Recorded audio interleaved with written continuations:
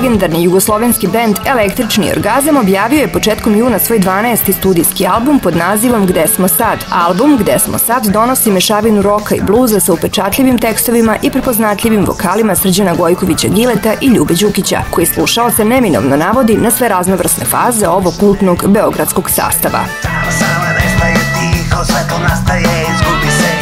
Frontman Srđan Gojković Gile o ovom izdanju govori Veoma smo zadovoljni ovim albumom. Radili smo na njemu više od pet godina. Zadovoljni smo i ponovnom saradnjom sa kućom Maskom s kojom smo ranije radili na albumima Breska u teškom sirupu i New Wave.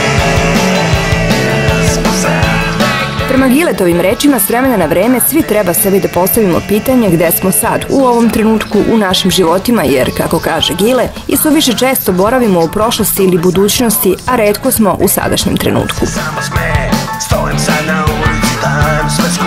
Produkciju albuma potpisuje Toni Juri, muziku su pisali Branislav Petrović Banana, Ljubomir Đukić Ljuba i Gile, dok je tekstove kao i obično pisao Gile.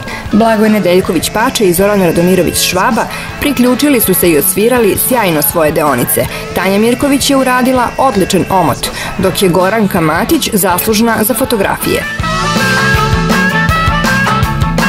Povodom izlaska novog albuma, band kreće na veliku turneju i to sa juga Srbije.